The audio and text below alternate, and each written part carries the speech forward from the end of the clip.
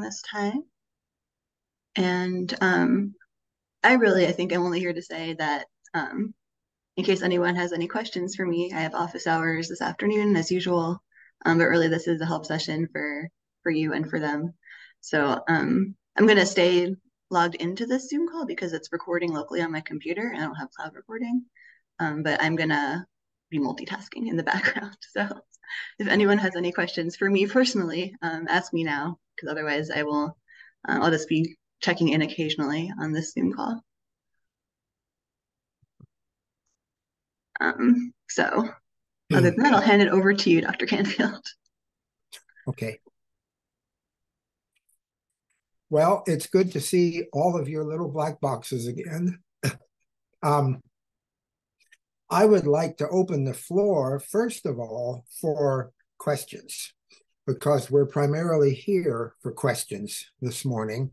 And I think we should talk about that um, and kind of get the meeting going with uh, discussion or input from you guys. I hope you've had time to look at the lab write up and look at your data and uh, let me know if you found problems or issues or um, or if you're making progress and have gotten some question into the data that you would like to discuss.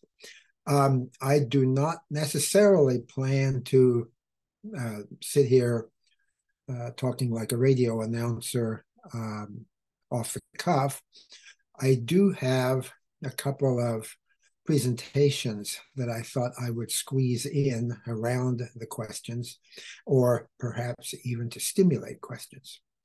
So I'll stop talking. And if somebody has a question they want to start with, um, what is it? You raise a hand or shout it out or something like that. You might have to shout it out. I'm not sure I have any host control here.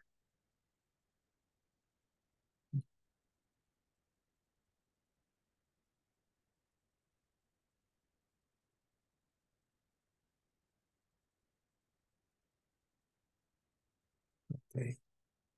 Uh, I think it would be beneficial maybe if you started like with those little slides that you had just to start brainstorming possibly off of those things too. We can kind of build okay. off that if anything. So, so what you're telling me is you're you're at your computer, but you haven't really started yet. okay, I I understand that. Yeah. Okay. Um, let me see. I've got the directory up. I will try to share screen and it would be this one. Okay. All right. Okay. I'm being told that you guys can see my screen. Is that is that the case? Uh, everybody can see the screen. Yep. Yeah, okay. we can see it. Good. Okay.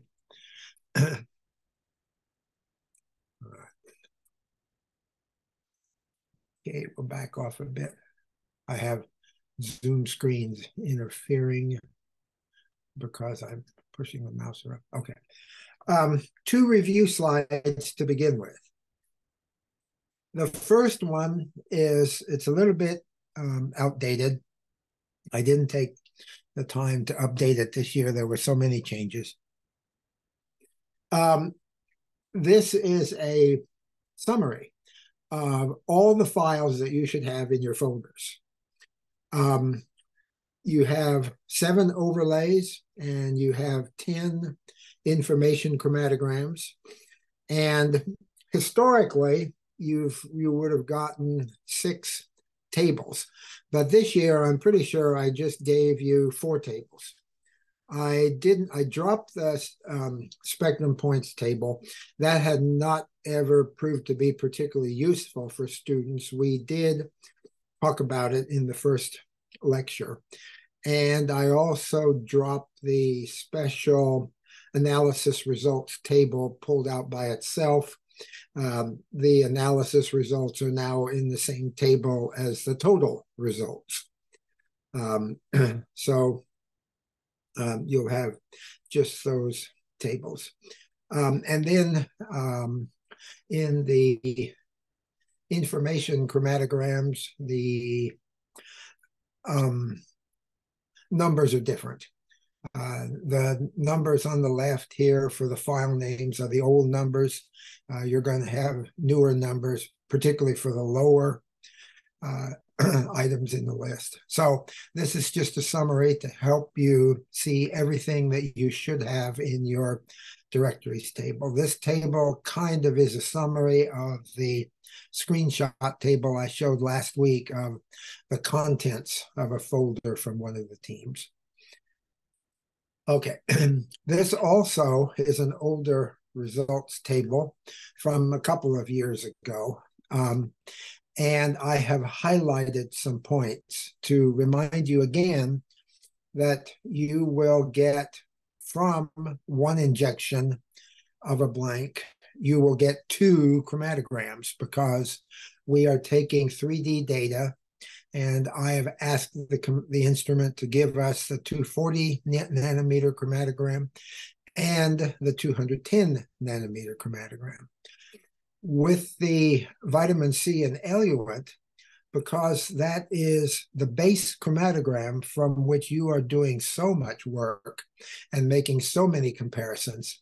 Um, there are three chromatograms that come out of it the 240 nanometer working wavelength, the 210 nanometer, so we can see how the background looks at lower wavelength, and 243, which is not, still not exactly at the maximum, but pretty close to the maximum uh, so that you can do comparisons on these three chromatograms and see what the differences are.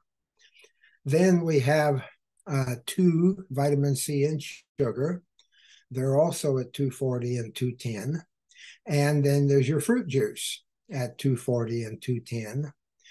And then in this particular one, um, there's also, I included the wavelength change because that is a single injection and we get 240 and 254 nanometer chromatograms. Now, let me ask you some questions here to begin with. Um, why did we choose 210 nanometers?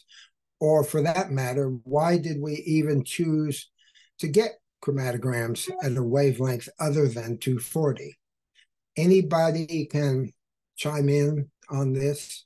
I'll try to look around and see if I see hands, but it's a little tricky because I've got my screen pretty full here. Okay. Mm-hmm.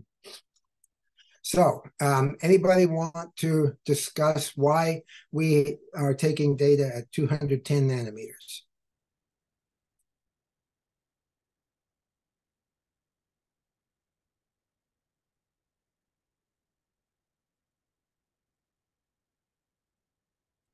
Okay, let me put it to you this way. How about we turn it around? Okay. Um, and let's pretend that you guys have asked me that question. Okay. So, does somebody want to say, would you please discuss why we are using 210 nanometers?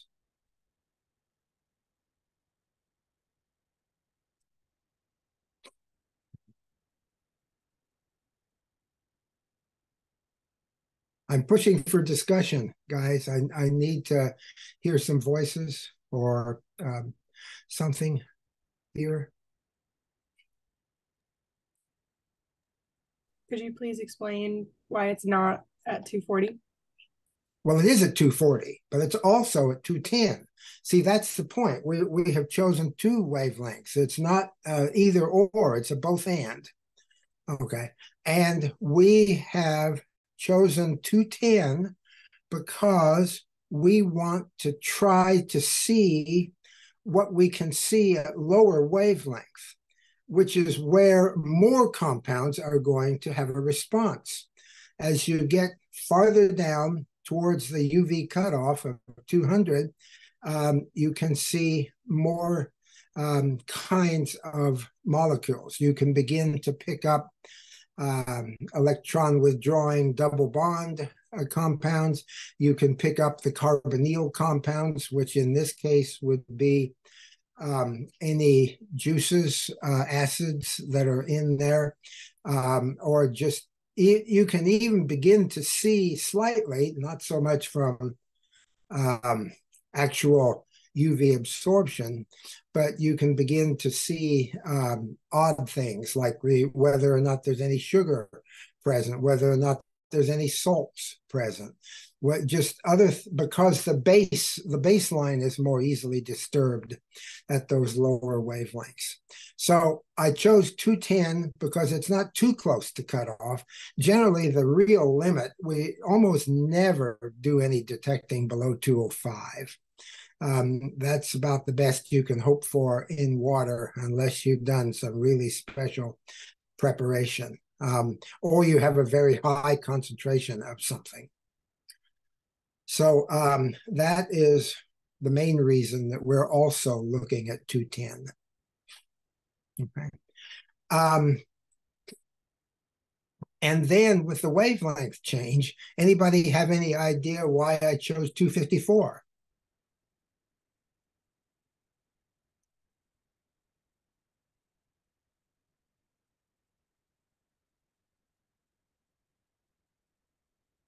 I'll take a wild guess.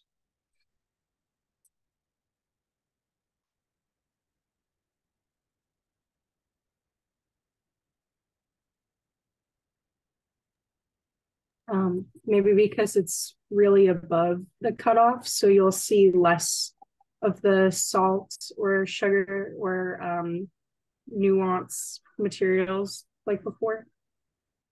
That's good thinking, Sydney. Um, the the uh, there's there's more there's more to it than that, but that's a pretty good starting point um, for a student coming in for the first time. Uh, it is good that you realize that as we go to higher wavelengths, usually we have less interference. So if we could really be working at 280, you know, it's you don't run into too many complications in the baseline of the wavelength up there. Um, it's also on the, the high wavelength side, well, the high energy, it's the low wavelength, but the high energy side of the aromatic region, which runs from about 250 to 280, 285, something like that. Um, the actual reason is a little bit, um, it's, it's history. Um, in the early days, the only detector lamps that could be um, used for UV detection, you know, below the visible, like below 350, uh, was the mercury line. And the mercury line is at 254. So mercury lamps were often used in a lot of equipment uh, as you could just use that one wavelength in the UV. Um, there was nothing else available. So I primarily chose 254 for historical reasons, but you will note that like 210, um, it's on the down, way down low on the UV curve for a vitamin C. Vitamin C with its maximum at 243 is is uh, that's the high point, and it goes down on both sides. 254, it's beginning to get down to some extent, and it's also the beginning of the aromatic region. So um, we have we have um, we. sorry, I got a, a small interruption here. Okay. Um, I'm um, I'm I'm going to push on now to the next slide. I think if you guys don't have any any uh, follow up here. Um, so here is um, the next slide. Um, I was hoping that perhaps um, one of you guys might ask this question. Um, on a spectrum index plot, why is there no absorbance scale shown? So let's look at a slide. And this is a fruit juice from two years ago. And um, do any of you want to discuss why there might not be a scale shown uh, for the spectra on the spectrum index plot. And I would remind you that we did talk about this in the first lecture. But it's it's important that you understand it.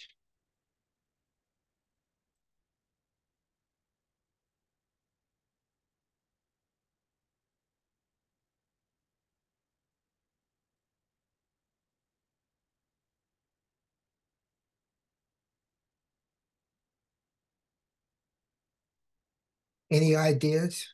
Any comments?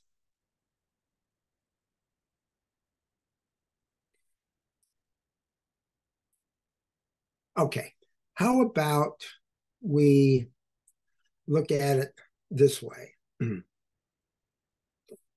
chromatogram shows several peaks, um, four big ones above two and a half minutes.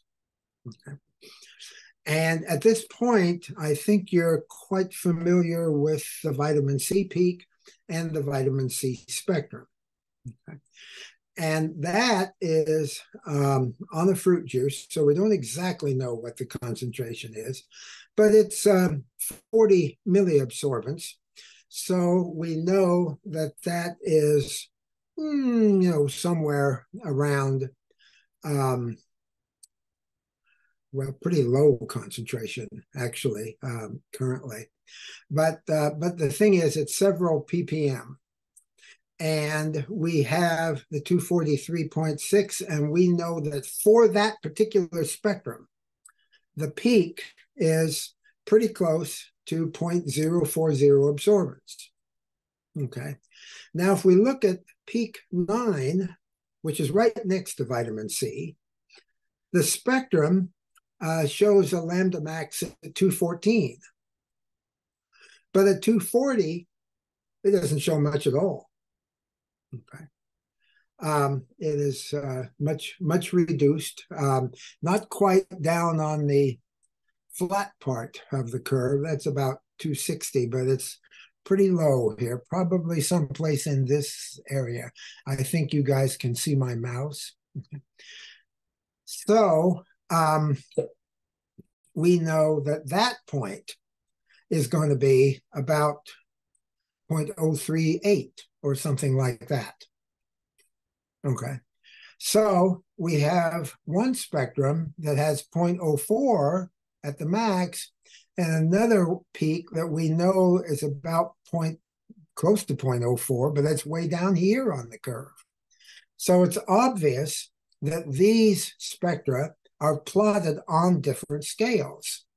And remember, I told you that the data was auto scaled so that it makes the, the biggest peak is close to the very top of the plot.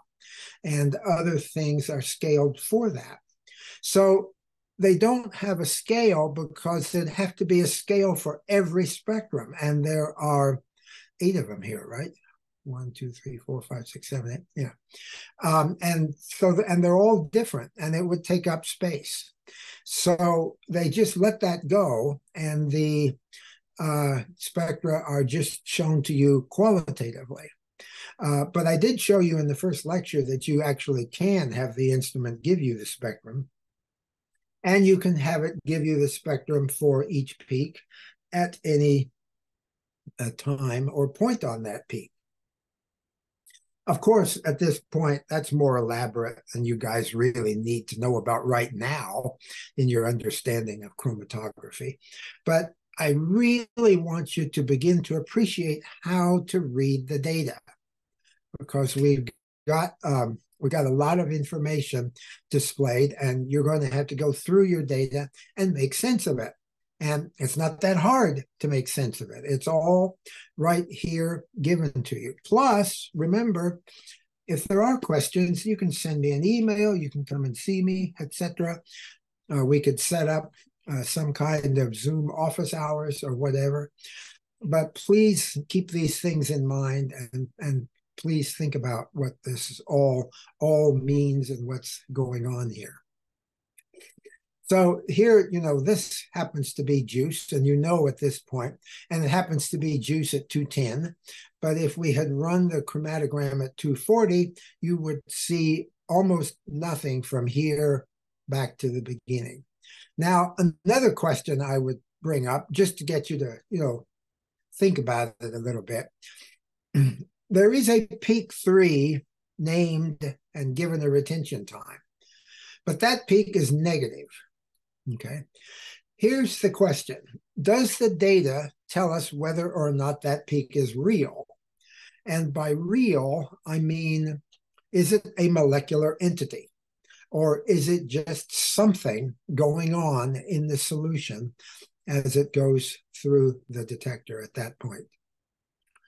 Okay. Now, if we look at peak three, what does the spectrum look like? Okay. The spectrum really almost looks like it's inverted too.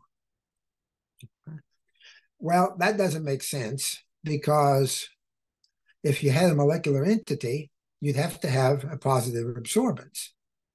So what we're looking at with this particular negative peak, because negative peaks are possible if you happen to have something that has a lower detector um, indication than, the, than your baseline is, then you actually can get negative peaks. It's not going to happen in the ultraviolet world, but it does happen in the conductivity world, and it does happen in the electrochemical world. So there are detectors where uh, negative peaks are real peaks and are actually used for analysis. Okay, so where does this come from? Why do we have this funny uh, behavior at the beginning of the chromatogram? And that's a good a good point, a good point to pay attention to. Remember, this is the juice. This is a juice chromatogram, and juice has sugars in it. And sugars disturb the baseline and you get these refractive index rolling changes that go through the detector and you'll have positive and negative excursions of the signal line because of that. So since we have this peak one peak two combination i think that we're probably looking at the sugar coming off and something else along with the sugar. I don't know exactly what uh, but something. The spectra for peaks one and two really just show that the uh, absorbance just goes chugging along until it shoots up to cutoff.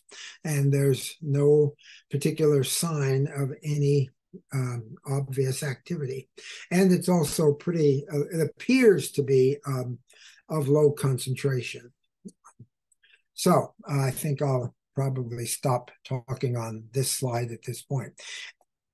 Has my discussion stimulated any questions? Yeah, I have a quick question. Okay. So in regards to what you're saying, say like for peak one and two, they're low concentration and they're like very, very close. Um, like and then if you compare like peak one and two to peak four, like there's a clear difference. Would you be able to like say possibly that peak one or two are possibly the same thing? Or No. just the machine is just so accurate, it's two different It's, un- things. it's unlikely that they're the same thing because uh, there is the beginning of separation. Okay. So just trust the machine, basically. Well, not absolutely. Okay, things go wrong. Okay, uh, I'm I'm just giving. I'm trying to give you some guidelines so to give your brain some material to work with, so that when you look at data, you you work on getting information from the data. Okay, um, peak four. Uh, there does appear to be a reasonable amount of it um, at 210. Uh, we're not exactly sure what because we don't have a standard, so we don't know what the response factor is. The response factor is like the molar absorptivity of the molecule. So, you know, those change all the time. So we can't really say anything about how much is there. But if we look at peak four, do you get the impression that it's a single peak? I would, Why? Because there's really no like fray off. It's just it's a, it's a pretty I would say mediumly concentrated peak with No, don't think about concentration.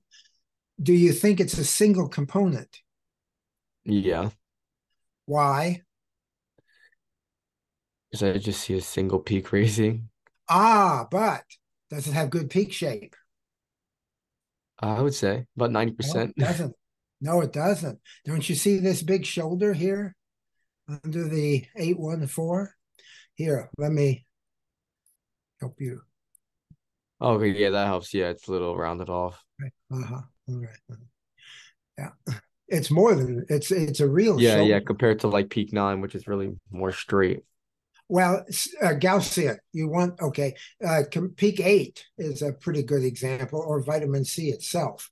Although right now, uh, peak nine and vitamin C are so close to each other that we don't have baseline resolution.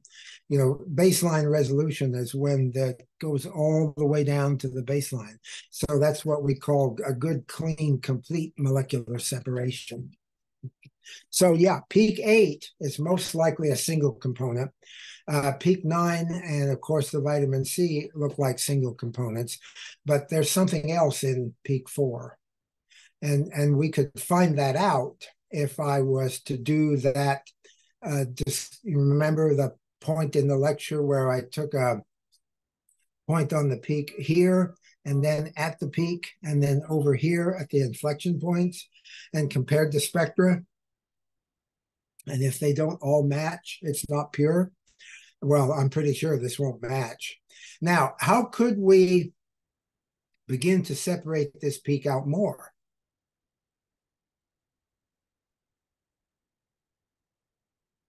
What do we need to change to get this uh, this shoulder to separate, or to get peak nine and vitamin C to separate better? Have you done enough reading to have ideas on what you might want to do to improve what is known as chromatographic resolution? Adjusting the flow rate. Adjusting the flow rate is one option, and it could help. Um, do you have another idea for something that would help more? Maybe um a longer column.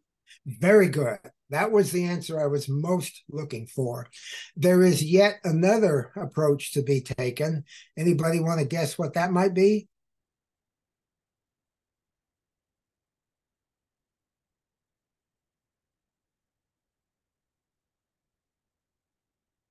Okay, we would try a different column uh, with because different columns have different selectivity. So we might be able to find something that sees this component and this component uh, diff sufficiently differently that um, they are much more readily resolved. So in terms of uh, things to try, uh, changing the column length is a good thing to try first if you uh, can afford the time, because if you make the column longer, of course, it's going to take longer for each injection. Um, and then um, changing the flow rate, uh, as was first suggested, uh, will give you some idea as to what you're what you might be able to work with within the same eluent system. And then if those two things don't make you happy, it's probably time to try a completely different column and see what you can do there in terms of improving resolution. All right, very good. So we've got some discussion beginning here. So I'm going to take this back down a bit. And then the next slide is just the table that goes with the juice, which we don't particularly need to pay attention to today. And then um, move on. Okay, now at this point, do you guys want to ask some questions before I keep going with this part of the presentation?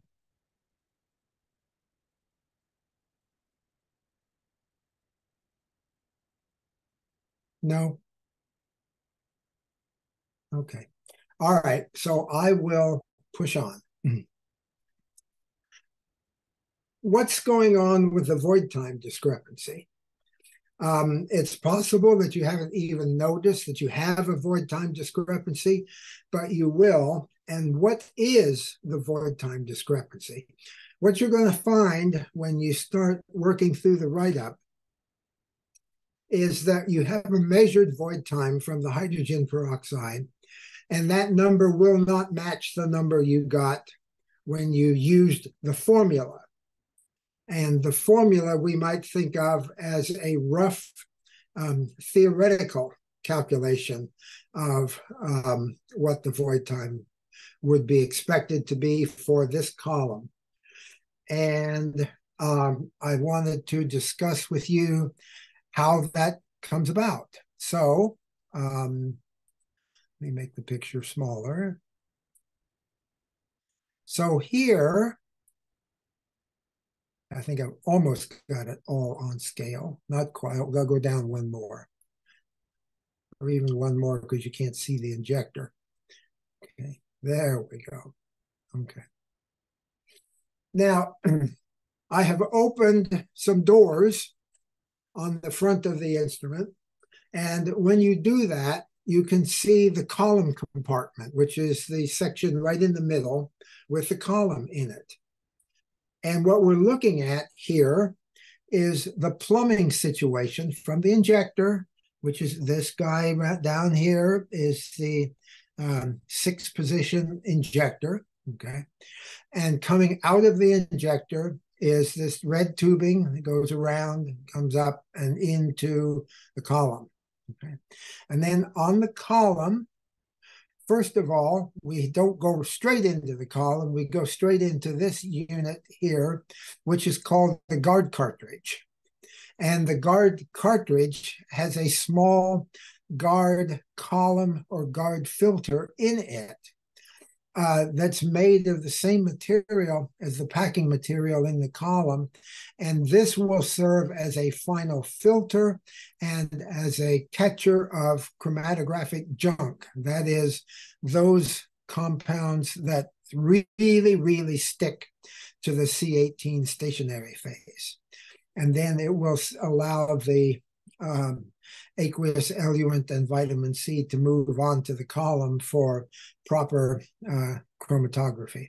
Then we have the column itself, which goes just about from this little white clip that's holding the column in down here to just about where this junction between hex and round takes place. And then we take the tubing on around and into the detector.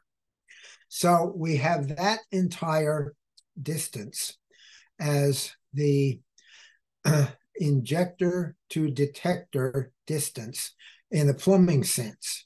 Now, uh, how do we break it down? All right, let us do some greater detailed description here. Make it a little smaller still so we can see it. So now I have inserted colored arrows. And these help us break down what I was just talking about. So we have the red shows the beginning at the injector, and the second red shows the end at the detector. And along the way, we have one piece of PEEK tubing, one guard cartridge, and another piece of PEEK tubing in order to connect the column into the system so that we can do chromatography. Okay. Now, what is it that we really, really want to measure? Okay. And what did we actually measure when we measured the void time? So the red arrows show down here the volume due to the void time experiment, what we actually measured. All right. But that's not what we want. Okay. What we want is from the beginning of the packing material to the end of the packing material, because that's where the separation takes place. Okay. So we need to, and the theory the equation you're going to be using is going to look at the column. So we kind of need to understand how all this works and what should we you know, what, what can we expect and what should we get out of it? Okay, so first of all, let me um, show you what column end fittings look like. Okay. Columns from vendors have two kinds of end fittings, external and internal, but effectively, when you look at the cutaway drawing, they do the same thing. The idea is to have the liquid come in and of course, there has to be a frit to hold the packing material into the column. Usually, the frits are made of porous stainless steel. So the liquid comes in, shoots through a final little bore. There is this dispersion cone as a consequence of machining of the fitting, and the liquid spreads out, goes through the filter, and goes onto the column as a thin band. And that will be true for either kind of plumbing configuration. Whether you either have the big block of metal on the column here and you screw in, or you have the big block of metal here and you just have the fitting go in. Effectively, uh, you have the same considerations. So we have what we're trying to do here is create what is called a zero dead volume connection. So we have liquid always in contact. There's no entrained air or anything else that's going to interfere with our chromatography. We need a smooth, defined liquid flow system. So now you have some idea of how the vendors actually make hardware to do this. Okay, so now what I want to do is ask you a question.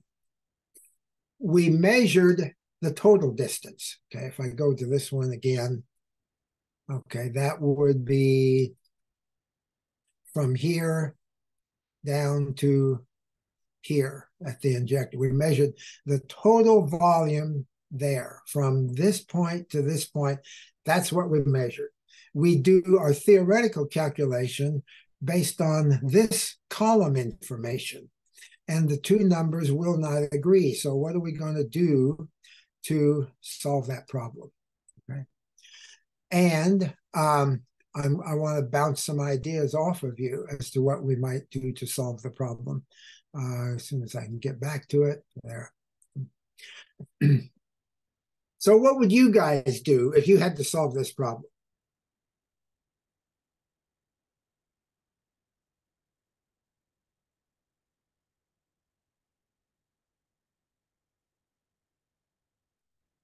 Okay.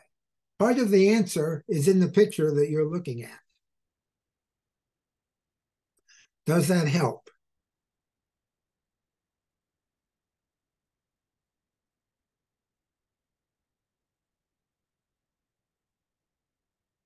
Okay. Well, we're stuck with the real world as scientists that we work in. So, what can we do? We can't actually come up with any way. There's just no physical way to connect the column with zero dead volume connections to the detector and the injector at the same time. They're just too far separated in space, and there's no possible way to do it. But we have the total volume of the system. That's what we discussed in the previous slides. And in this one, we have the total volume of everything except the column. So you will see that what I did was take the column out. All right. And in instead of the column, I put in this little guy right here. Okay. This is called the zero dead volume union. Okay. Now, what does it do for us? It connects the guard cartridge to the detector tubing. So now what we have is from the injector to the detector, just the pipes, no column. Okay, just the tubes and guard cartridge and and everything else that's here, fittings, etc., but no column. All right. So can we measure this volume? Give me a guess, yes or no. Any brave soul? Yes. All right, very good, Jahim.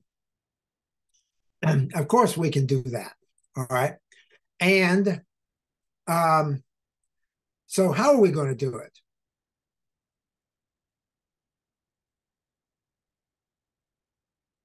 Okay, the question is a bit rhetorical, but what would we do? Okay, we used the instrument with the column to measure the void time in the first place. So why don't we use the instrument without the column to measure the volume of everything else? Okay, does that seem reasonable? Again, I need some comment. Have I lost you? Yes. Okay. I think you're trying to make it too hard. Okay. You have a system with a total volume and it's got several components in it. If you take one of those components out and put the rest of it together, you have removed exactly the volume of the component that you removed. Okay. I mean, this is, you know, toys and Legos and putting things together. You take something out, you've got that much less of that one thing. Okay. So we had it all together and we measured the void time. We can do it again without the column. Okay. And what would we expect if we do that? We would expect to get a pretty small number because and, and the number that we would expect to get is the difference between theory and experiment right? Yes, I understand. yeah okay. So what would we choose to remember we have to be able to see something so would we use the same system we were using before? The same system being the hydrogen peroxide?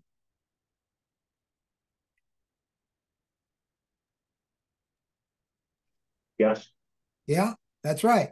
Sure, because I mean, you know, it's it's obvious. We've done the big experiment. Now we're going to do some little part, you know, part experiments along the way. So what happens if we do that? Okay, let's take a look. I am going to set up in my sample set method. Actually, this happens to be a general one I was using for development at the time. And I chose the line that's highlighted in black. So I, am I'm, I'm not using the same concentration used in the lab. I've just got a dilute solution of hydrogen peroxide in water. And I'm going to use one of the same methods that I used previously. So we're going to run it and we're going to see what we get. And this is what we get. Okay. And does that look sensible? Is that what you would expect? Have any of you guys had physics? Yes, with the physics. Okay. Did you did you talk about um, Newtonian flows in tubes and uh, liquids in in any way? Have you had any experience with that in your physics class? I don't believe so. Not at least not in depth. Okay. All right. Okay. Well, actually, we don't need much depth. Uh, really, what you just need to do is to just think about liquid moving through a pipe, um, or as I like to tell people, liquid moving through a soda straw. So, you know, you can kind of do some of these experiments the next time you drink something with a straw, at least qualitatively. So, what's our retention time here for the hydrogen peroxide?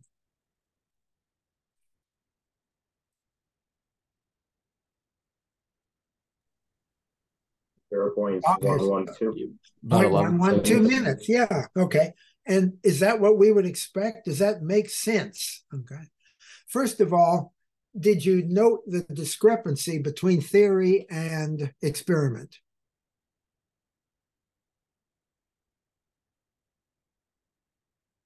I, I can appreciate that the answer is probably no because you haven't done that yet, right? Anybody?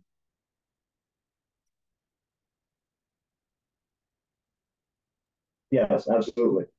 Okay, so what you'll find is that you, you the hydrogen peroxide void time that you measured is about 1.41 minutes.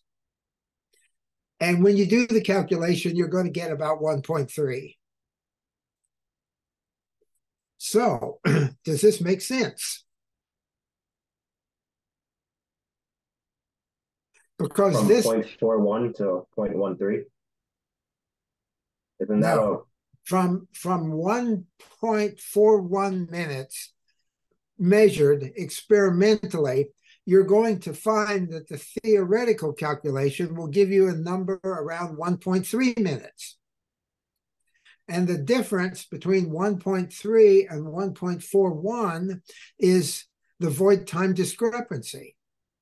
And what I'm showing you is that the discrepancy comes from the plumbing. And the discrepancy is consistent with the plumbing. Because if we take the column out and measure the plumbing, we get 0.112 minutes as the time necessary for a molecule of solvent to flow from the injector to the detector with no column present.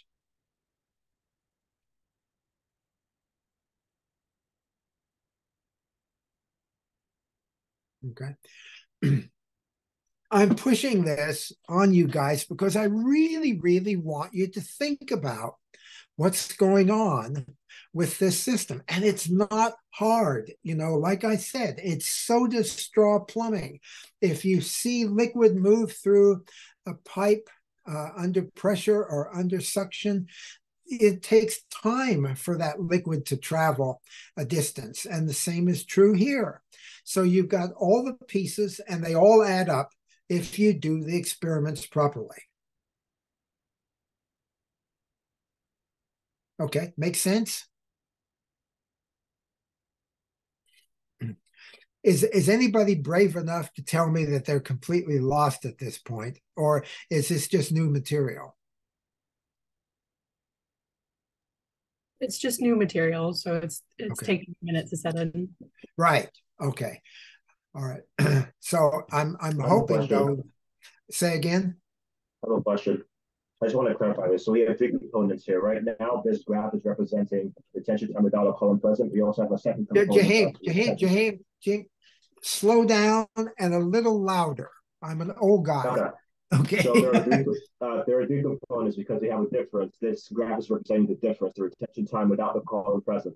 We also have the retention time with the column present, which is one point four one or one point one four one. One of those numbers. But then we it's have one point. the other, It's, yeah, yeah. yes. Then we have another value that's slightly lower, which is where this difference comes in. What would you name that other value? You mean the one, This one. this one here? No, this is the difference between Oh. having a column and not having a column. What's the third value? The one that is one point one three one. Okay, that's the that's the calculated value. The Okay. one point three is the calculated value. That's what you get from the equation. It's it's it's it's um we could call it the theoretical value, but it's an empirical theoretical value. You know, it's not a pure derivation from um, all geometry and and and math. It makes some assumptions. The the main assumption it makes is uniformity of particle size in the column. And if it if that is exactly the case, then the theory is pretty good. But if there's discrepancy there, then that means that the so-called theory isn't as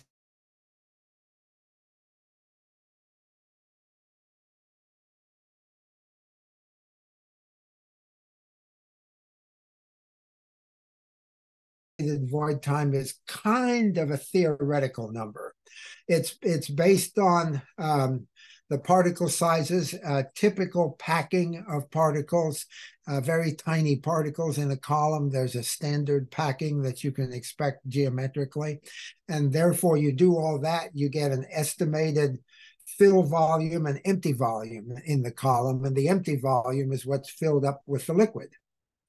So, uh, and you have to make assumptions to get those. It's it's called the ratio of stationary to mobile phase in the column, and it's it's beyond what we're going to ever talk about in this course. I don't even talk about it with students in analytical. I I mention it in analytical, but we don't talk about it in terms of anything that you need to know. So. Um, Uh, uh, did, did that help, Jahim, or do we still need to talk about it some more? Well, that helped me. Thank you. Okay. All right. Okay. Now, here's another question. The peak label says vitamin C or hydrogen peroxide. The sample name says that I actually used hydrogen peroxide. So, could we use vitamin C? Could we use anything? To measure this um, discrepancy time, okay? The volume of all the other plumbing. Anybody want to make a guess on that? Would it be yes? Because you were saying that. Yes, that's right. We can use anything. Yeah. Mm-hmm. Because now, do you want to go ahead and tell me why we can use anything? I was going to suggest possibly because you were saying that time that it takes to pass through the column, that's always going to be consistent no matter what you're doing.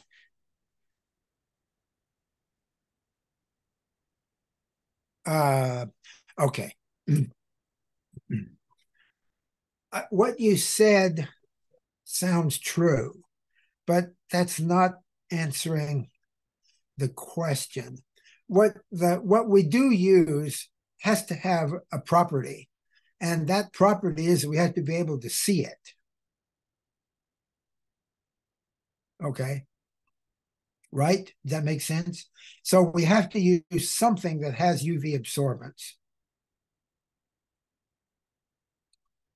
Okay. All right. So now then, but why can we use anything that has UV absorbance?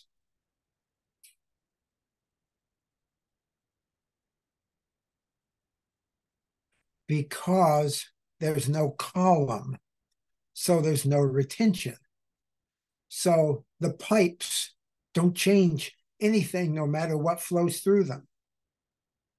Okay. These are the kinds of, this is the kind of thinking that I'm trying to stimulate because you guys are going to need to start thinking like this in order to, you know, really visualize what's going on in, in the in the process and it'll help you so much when you're doing your write-up.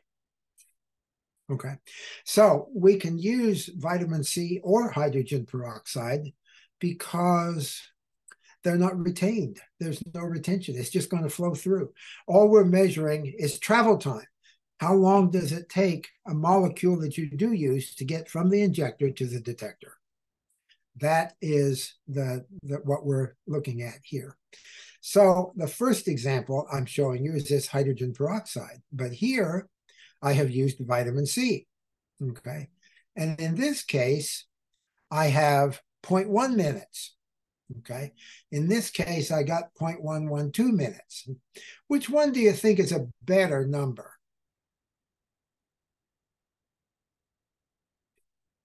Or are they equivalent? And we're just looking at error.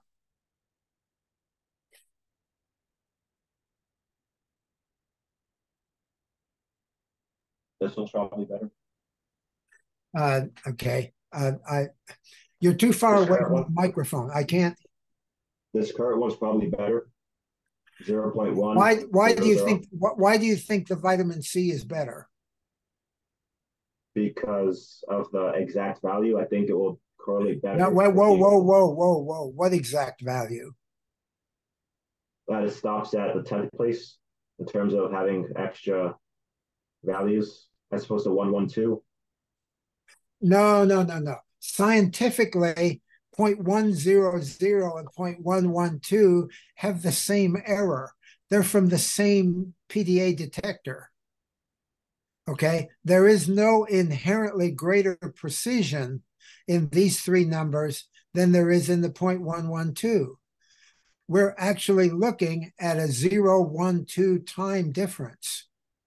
Is that real? Is what I'm asking you. Or is it preferable?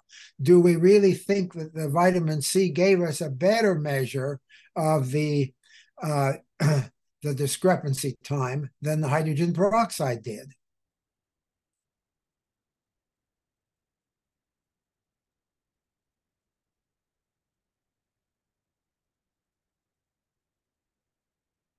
All right. Well, let me give you my opinion.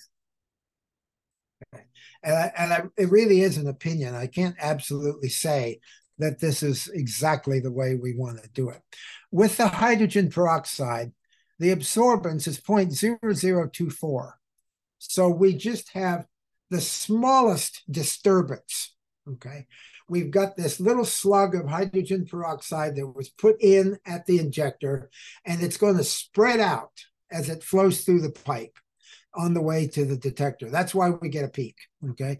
And this peak is not well shaped because there's no chromatography. It's just Newtonian flow. So there's going to be mixing and it's and it's going to disperse.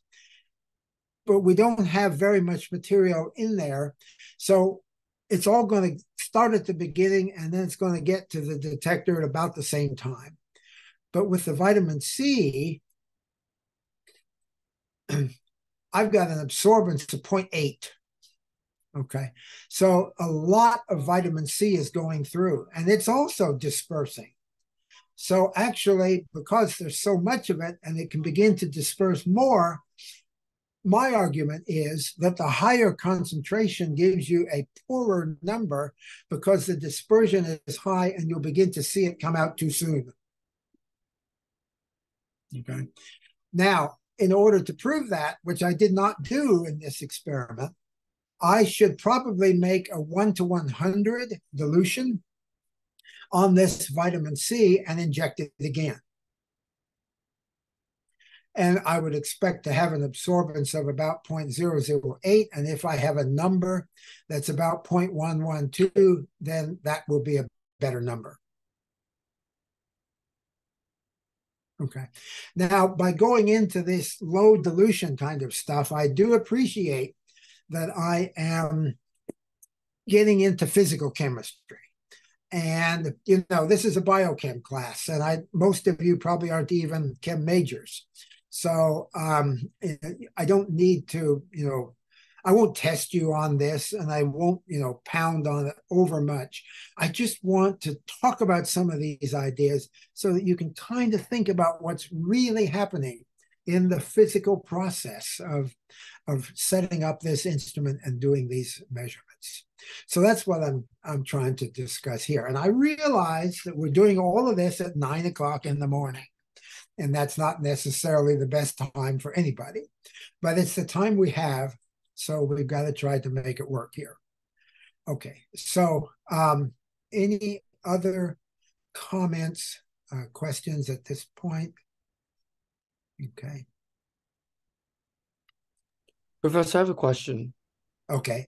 Um, would it be possible if we can go over the data that, that you sent? I think that would be most beneficial because a lot well, of that was that's that's the questions. You know, um, uh, I can stop this and I come back to it later. But if you've got particular questions on your data, then fine, let's go for that. Okay. yeah, like even if we're doing like if we're doing like these examples you're going over, but with your data, I think that would definitely benefit all of us.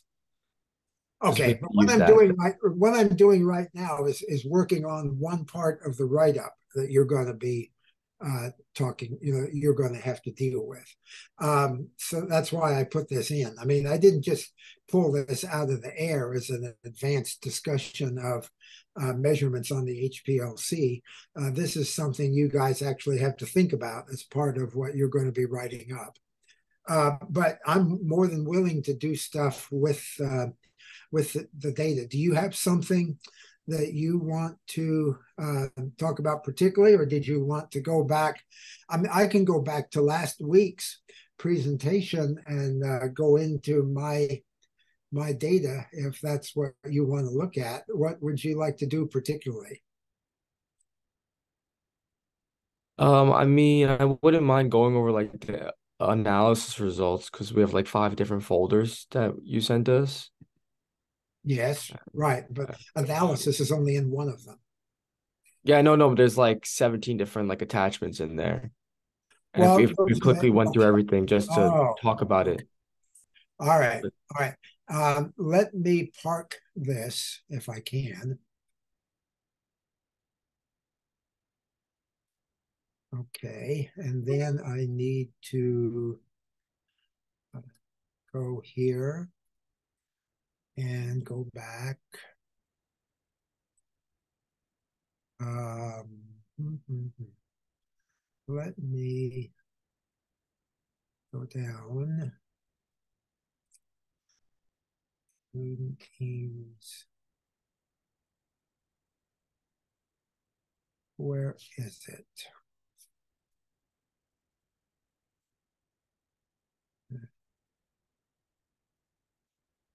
Oh. Uh, Let's see what we have here.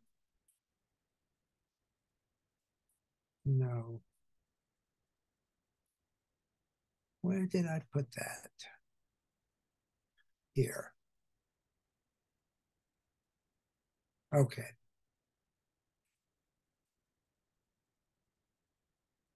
All right, so I've picked my data folder. You can see my data folder. No. Okay, so then I need to change sharing. Where is that? Mhm.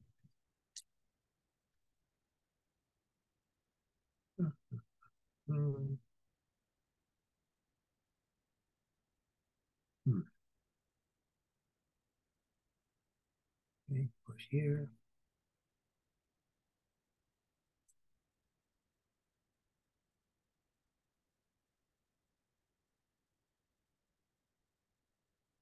Could I just do one at a time? Maybe I can only do one at a time. Let me exit out of this one.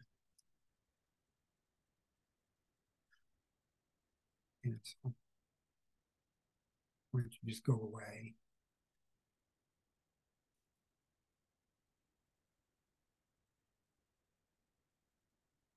Oh, what's the matter with you?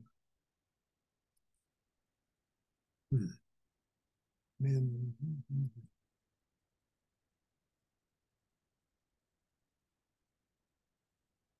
Can't get rid of that.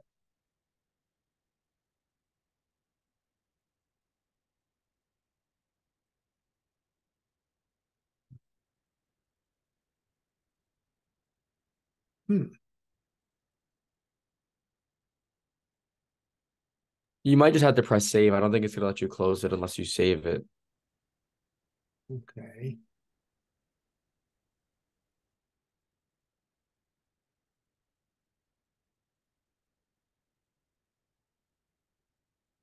But I shouldn't even have to do any of that. I should just be able to get out. Yeah, no, hundred percent. It's weird. Oh, wait, here, stop share. Okay, how about that? Then share again. Okay, now I want to go here. There. That's what we want. Now you can see my, Yep. okay, very good. So let's make it bigger. All right. So now then, these are the five folders that you have. This happens to be my data.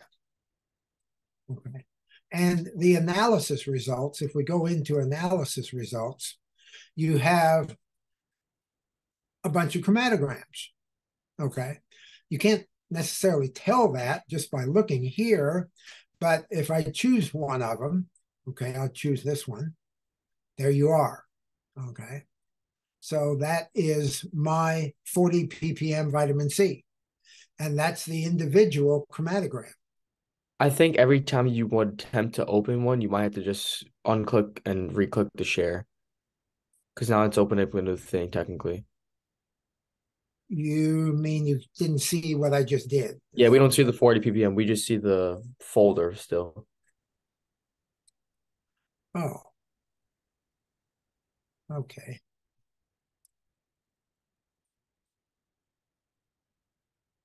Hmm.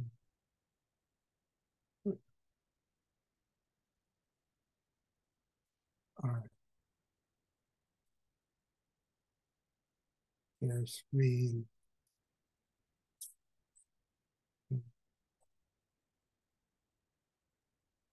All right, you see this?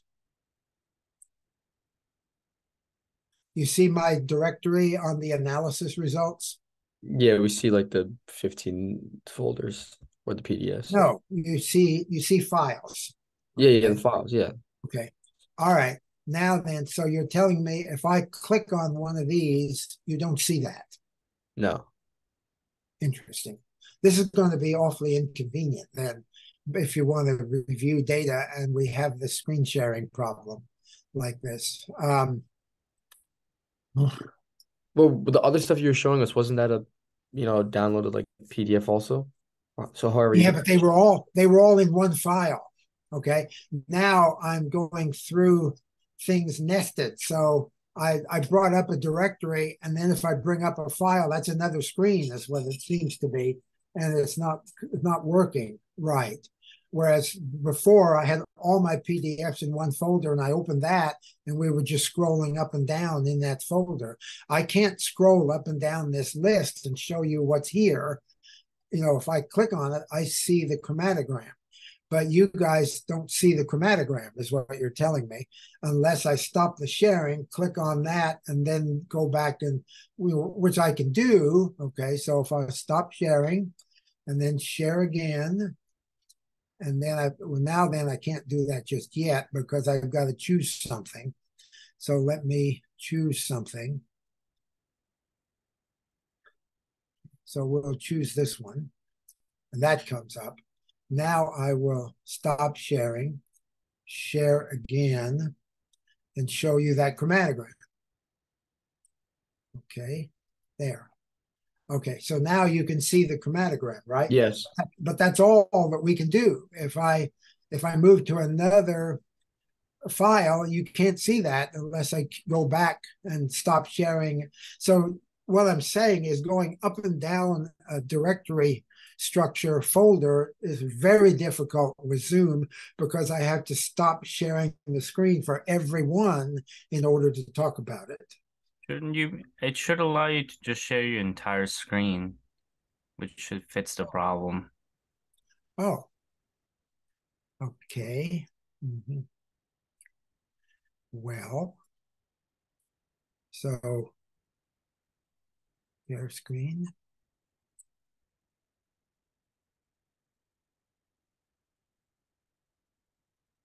Any idea where I would find that? Oh, here. Maybe if I if I do this. When you click share screen, yeah, that should Yeah, be there it. you go. That should work. Try it now and we'll let you know. Okay. Well, can you see the directory? Yep. Okay. Okay. And can you see Yeah, we can see it. command- Perfect. All right. Okay. And if anything too, if you want to make it easier for us to see also, you could just, you know, press the green button so it takes up the full screen, but we will still be able to see it too. The green button. Ah, okay. That's kind of a dangerous thing to do on a Mac because then I'm stuck with full screen. And if I go to the to over here, it'll minimize it and put it Gotcha. marked. Okay. So I tend not to do that. I tend to do this. Okay. I tend to do that and then do this. That's fine. That works just as good. Thank you. All right. All right. So now then this is the first one in the folder. So this is my low standard. Okay. So what you you guys need to realize this, okay? I can't get the analysis, which has to be one method on the instrument, or else it can't do the standardization because it has to have all the standard data in one place. I can't set up uh, 12 different files for the standards and then be able to to produce anything for you. So because I can't do that, I can't give them individual names.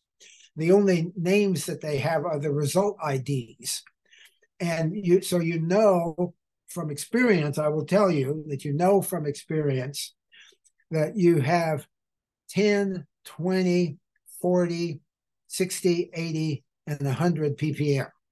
And then you have 10, 20, 40, 60, come on, Norm, 80, and 100 ppm. And then you have your juice. Okay. So this is a result. That's your fruit juice. Okay. Then we go to the next one, 2744. That is the juice and spike. Okay, so these are the individual chromatograms which you can always go back to and look at. But really, in this folder, there's only two things that you really need to pay attention to to answer the questions. The juice and spike overlay. Come on, wake up. Okay. Here, and the table that goes with it that shows, you know, the juice is 60 and the spike is 70, and it's consistent because it was 10.1. Okay. So this one is supposed to be 10.1 and it's 9.9 and the other one is also 9.9. Okay. And it's supposed to be 10.1. So, you know, it's not perfect, but it shows what's supposed to happen.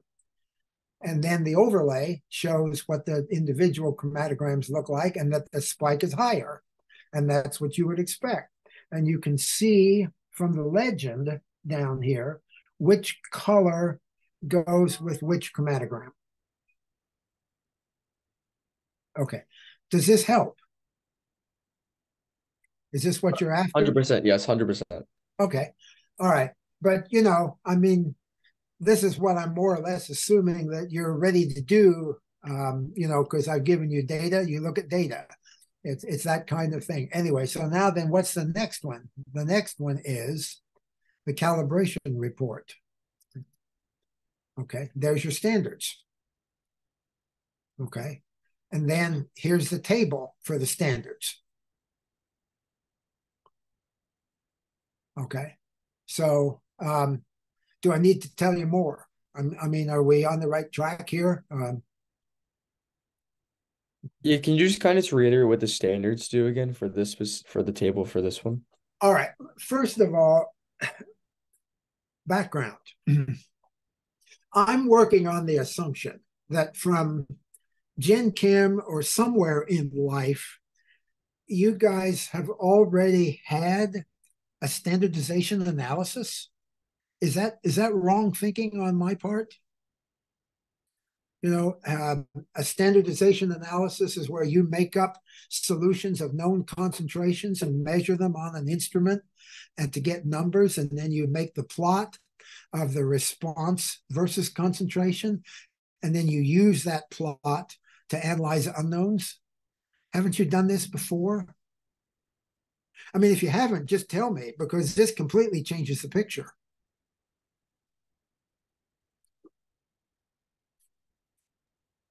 Um, I Gen Chem was a while ago, but I don't necessarily recall doing that. Okay, and and and so, but you you come into biochem and you've never done a standardization analysis. Is that the, is that the the message I need to get here?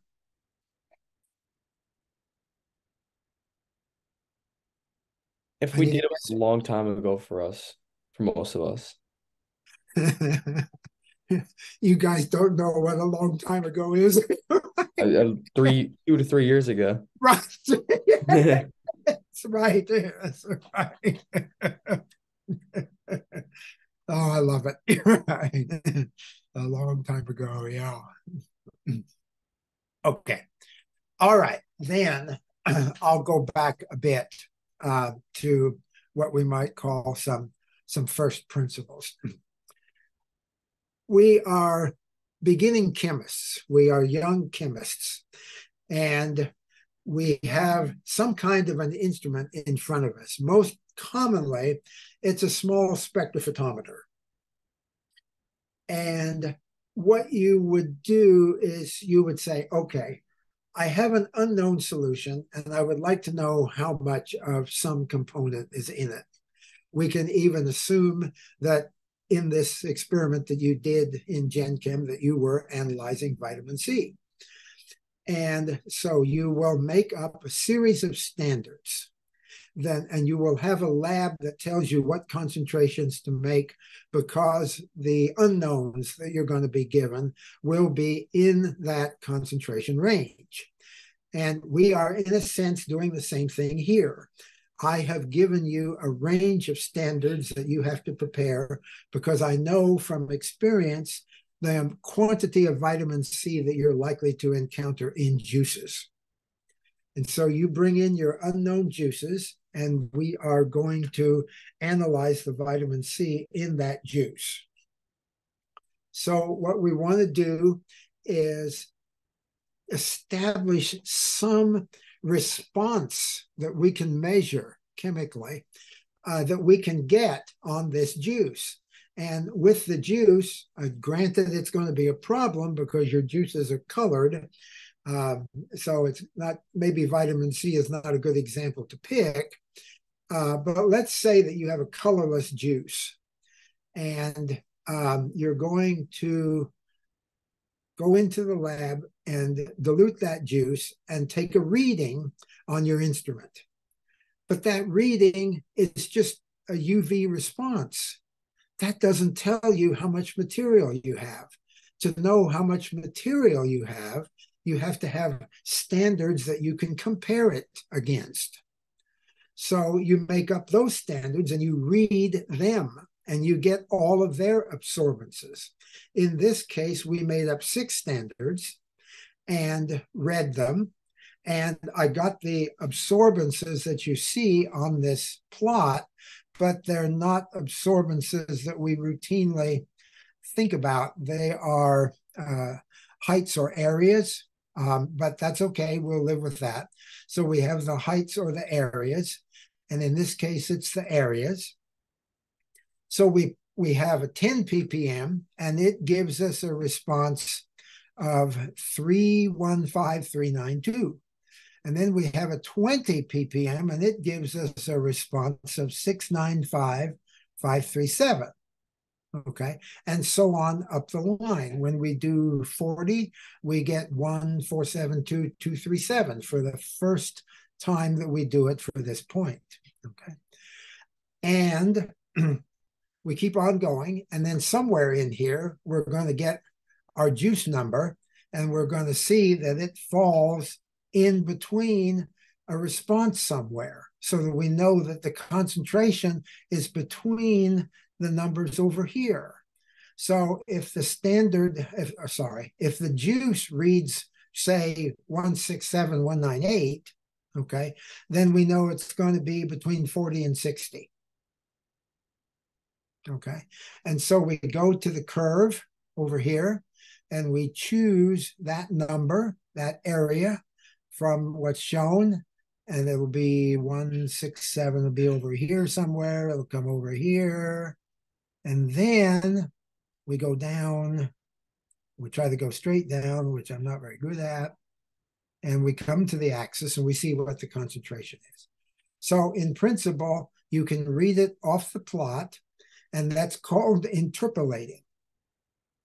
Um, I hope that word rings a bell. Um, but anyway, that's what we are trying to do here. So we're going to, you know, have this analysis set up. And normally, when you did this before, you got all these numbers and then you had to go off and go into excel or use your programmable calculator or something like that and do the least squares fit or draw the line etc well you don't have to do all that here all you have to do here is just work with the data that i'm giving you from the instrument because this is the way that it's done in the modern world computers take the drudge work away from you guys so that you can just think about what your experiment means. And that's kind of the goal that I'm after in, in what I'm doing here. Okay, now, has what I've said so far helped? Or do we need to do more?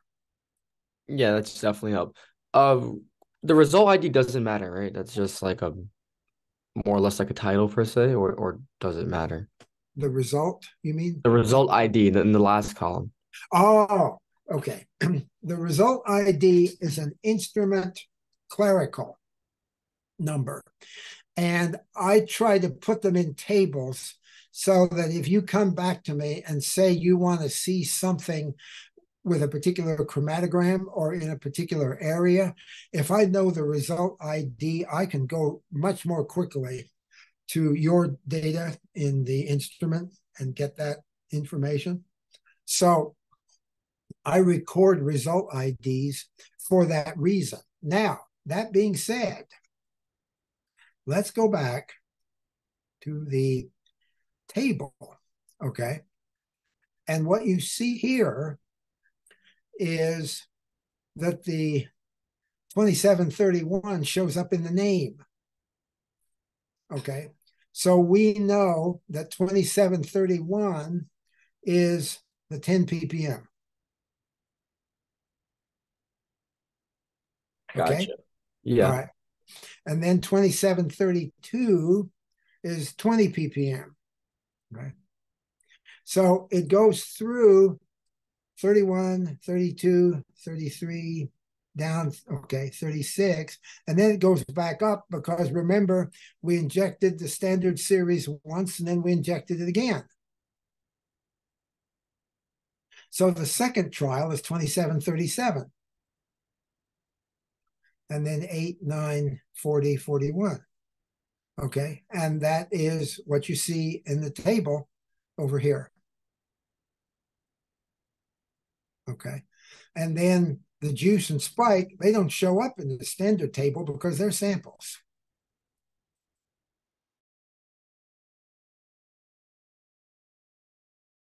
Got it. Yes, no. Yeah, I think you froze for a second. I was like, I said, got it. We understand. Oh, okay. All right. Mhm. All right. So now then that takes care of the analysis folder. Yes. Okay. So if I go here, well, let's just get out of this one and then go back. All right. Now, information chromatograms. Do you know what's going on here?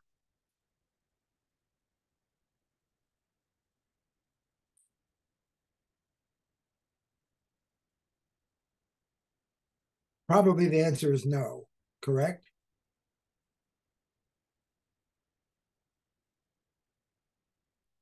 All right. So then what can we do to let's see, did I park that or did I get out of it altogether? I think there's something in here? No, that's just Zoom. I don't need that. Okay, go away. All right. Well, let's work by analogy to what we did in the um, analysis folder.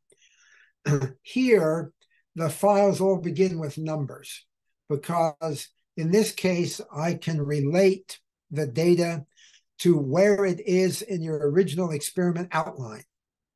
Okay. And when you're thinking about the results of an experiment, it's always a good idea to always keep in mind your original experimental outline. What was it you were trying to do? So the, the sample set table outlines the experiment for you. You went through and you made all these vials and you put them into the instrument in a particular order to do a particular series of measurements to get information. And the files here are that information. So the first one, which is line two of your table, is the void time, and we can see the void time. So here's the information for the void time. Okay. then you injected your two blanks. Well, actually, yes, but you got three chromatograms. You got the eluent blank at 240, and you got the eluent blank at 210. Come on, wake up. There we are. Okay. so now you have your two blanks. And you need to look at those and see if they make sense and if it's the kind of result you would expect. And we had talked about that before, that actually the blanks look pretty good. Okay, now the sugar, we want to know whether the sugar has any influence on the system. Okay, and what do we see? We see that indeed it does have influence on the system. We get a peak here and we get a disturbance here. They're not very big, you know, in terms compared to a big vitamin C peak, it's going to be a flat baseline. But there is this tiny response. And so the sugar disturbs here, and then you get the other refractive index bend on the other side as this material rolls through the detector. Okay, but what we really need to know is that we don't have anything to worry about in the blank because out here where vitamin C is, it's flat and clean. There's nothing showing up there. Okay. All right. Now I'm I'm seem to be I just charged this guy, but I might need to swap mice if I don't get things better here. So now we have the vitamin C and eluent, and this is the most important chromatogram. This is the one you have to get right because this is the one that's going to be used to compare everything else against. And it's um, roughly the middle standard. And you want to see that you've got good absorbance, good peak shape, the proper spectrum, everything is reasonable for this compound because of this injection because it's going to be used for comparing so many of the other injections to see what the effects are. Okay, so now we've got three chromatograms from that injection. We've got 240, 210, and 243 somewhere. I don't know which is which, but these three are going to be those wavelengths. Then we're going to have the vitamin C and sugar. And that's also at two wavelengths, 240 and 210. Let's take a look. I think this one will be 210. Yep. Okay. So what do we see? We see the sugar with vitamin C, and we see that stuff we saw in the blank. So the sugar does influence the chromatogram, but not where we care about it.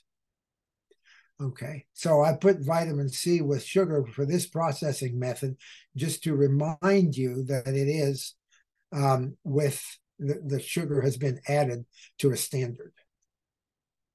Okay. And then, of course, we see that the vitamin C response is much smaller because we are at 210. And at 210, 210 is over here.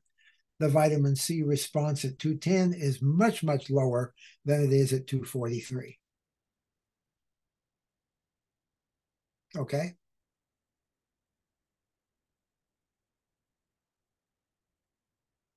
All right. So what's the last thing that we have? Okay. Okay. The last things is the juices. We have the juice at 210 and the juice at 240. I think this will probably be 210. Yeah, this is 210. Okay. So I use the my data for the juice is terrible because um, well, terrible in the sense that it's not interesting because I made a synthetic juice. So I don't really have any good stuff in my juice. Um, so I just see a little bit of noise peaks, etc., along the way. Um, but I wasn't out to have a you know a proper juice because it was my intention to give you, you guys your juice solutions, which worked, and then I even processed your juice uh, peaks with my standard so that you would have analysis results that you could report because you're going to have to do the calculations on your juice and then you're kind of going to have to explain things to me. Does it make sense? Is this um, the kind of thing that you would expect in the real world uh, or the kind of behavior that you might expect from the vendor? So those are the sorts of things that i want to engage you with Okay. And I know there's a lot of data. but there would have been quite a bit of data if you'd had to do it the old fashioned way. And then you wouldn't have gotten to do the interesting stuff because you would have just been busy doing the drudge work. And, and like I keep saying, the computer is going to take that drudge work away from you. But the, the, the, the cost of that is that you have to be really, really involved with what's going on with the experiment so that you can understand your data and can write about it knowledgeably. Okay. Now, do I need to say anything else about the information chromatograms? Do you still have questions? Uh, no, not about the guy. I just have a quick question about like something you just said. You're so you're saying you the juice you used for your experiment was a synthetic juice and not a real quote Not a unquote real juice, yeah. mhm, Yeah. but we're still going to use that for No, you're going to use your juice, which is why I gave you your juice. So when you look at your analysis results, you're going to have your juice and my standards. So we're basing the data off of your data, but the Yeah. juice we're using is our juice. Mhm. Yep. Mhm. Well, you know, you I I want to use as much of your data as I possibly can, but um, the standardizations were not generally uh, very good. Uh, there's only two that were kind of in the Yeah, that's what I'm confused about because you're saying to use our data, but our data wasn't good. But then you're saying not to use your data. I've s- okay. Don't you you use my standards and your juice, and I gave you your juice results based on my standards in the email files I sent to you. So what I'm looking at here with Team Seven is my run on November third. Okay, and it's a little bit idealized, and it's got just the basic files in it your folders will have extra. Okay, so your re- an analysis result will have your juice result from your effort, but it will also have my juice result from your from your juice. You know, it's in there. So, uh, okay, let me prove that to you. I'm gonna. This mouse is annoying. So we'll go back. Let's pick.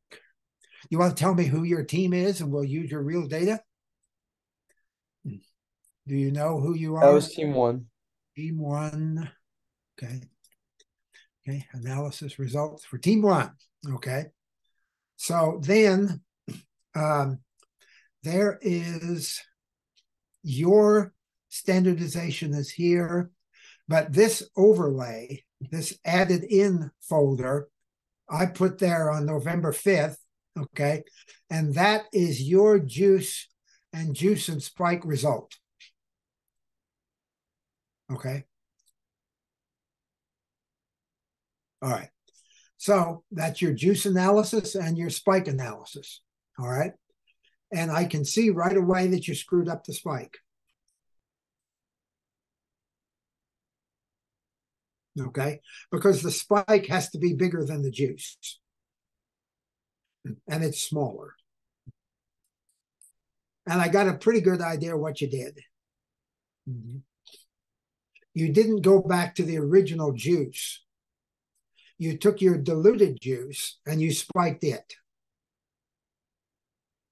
So it's too small. So you've got the something like the original was 38 and a 1 to 10 on that would be about 4 and if you add 10 and 4 you get 14 and we got 17 and there's usually quite a bit of error in these things. So i'm not surprised. But i'm pretty sure that's what you did. But nevertheless you've got the numbers okay? So you've got the 38 milligrams per liter is the vitamin c concentration in the juice that you brought to lab. That make sense Yeah. Okay. All right. Mhm. And I didn't give you all the individual chromatograms from my standardization. I think I did give you my data. I think everybody got my data as well. I didn't blend it into your folders, but what I did blend into your folders was your actual juice analysis. So everybody will have, and you can tell, there's two ways you can tell. First of all, since I pr produced it manually, uh, the word overlay is probably in the title. Uh, the, the information I gave the instrument for the automatic file naming doesn't do that. So overlay says that I probably did it, but the, the real clue is that it's from the November 5th processing. So, you know, when I was getting your data together, I put my stuff there and then then just before I emailed you guys all this stuff, I built these directories and then sent it to you.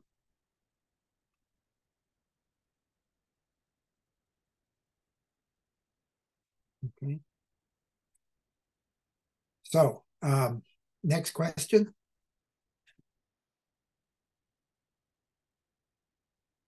So basically, no matter what, just still use our data, correct? Yeah, use your use your data everywhere you can. Okay. And the main place that you can use that is here with the juice analysis. But the other data that you can use that's yours is your blanks and your void time. Everybody's got a pretty good um, blank and void time, so you can use that for your discussions. Uh, but if you have a problem, you can check mine because you have my data too in Team 7. Okay. So, I mean, this is this lab is about data organization. Okay. And that's the kind of stuff you come up with in the real world. And and I, I will tell you that working through this lab will help you with your senior project.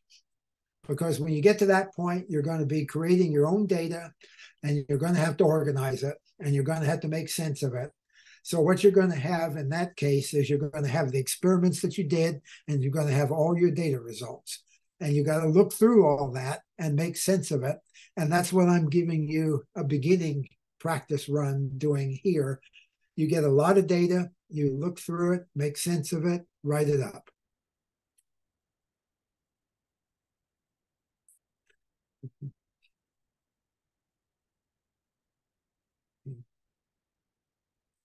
Would you have like a possible example, even if you use like my data, I don't care, of like an example of like where we should not use our data and use yours? Because like I wouldn't want to like waste my time and use my data when I should have been like using yours for something. You know what I mean?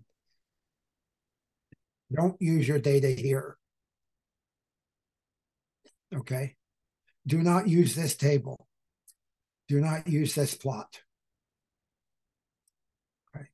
Because this is your original standardization.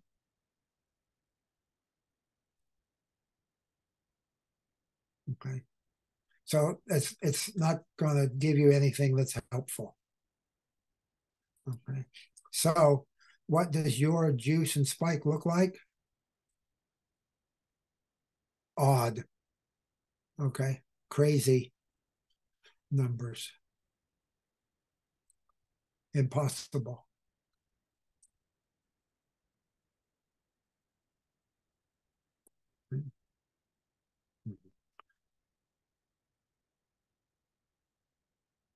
Okay, so uh, I think we've pretty well covered it. I mean, you can use your juice for juice and spike information just to as as um, as discussion points. You know, particularly when you're looking at the 210 nanometer um, juice for discussing the extra peaks.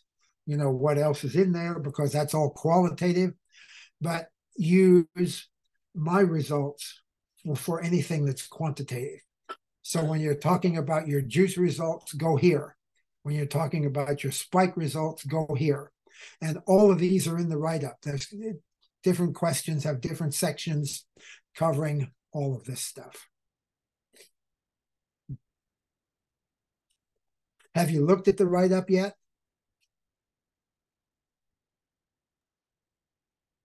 Me personally? Yeah. Yeah, I have. Okay, all right. So you got an idea of what the questions are and Yeah, and like what questions you need for specific graphs or whatever is. Yeah, hundred percent.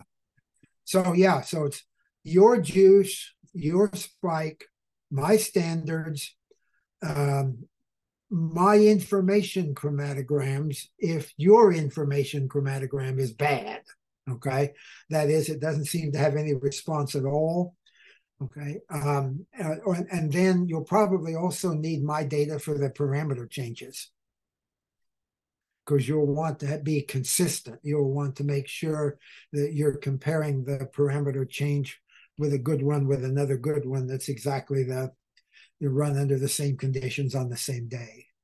So that would be another good place to use my data. But you can use your data, void time, the blanks, both of them, um, plain eluent and sugar. And um, if your if your middle vitamin C standard has some kind of a response, you can probably use your data even for the parameter changes. But take a look at your parameter change data and then take a look at mine. And if yours don't kind of match that philosophically, if they don't look like they're similar, then you better use mine. Okay, so that's that's the best course of action you recommend. Just Right, kind and- of and- look at and- both. It's a and big here's- difference. Okay. And here's plan B. Plan B is when uncertain, ask me.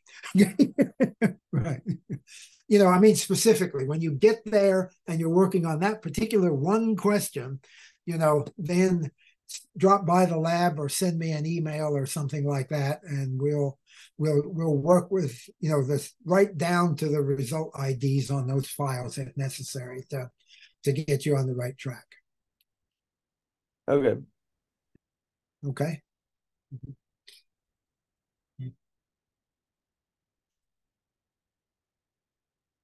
Okay. So, um, do we want to keep going here? Let's see if I go back. Okay, overlays. The overlays allow you to do quick comparisons. Okay, so you really, really want to um, make sure that you've got decent data. For the reproducibility, you might want to use mine. Okay, I'm not sure how each individual group looks. I didn't go through it in that kind of detail, but the reproducibility overlay is, is probably the hardest one that you have to deal with. So let's see what team one's reproducibility looks like. Not good. We just have one. Okay. So that's not going to be helpful. So let's go to back, come on back, back again. Choose me, overlays. Reproducibility should be in here someplace. There it is. Okay. All right. so here, what's the what's important is the table, and what's important in the table is the retention times.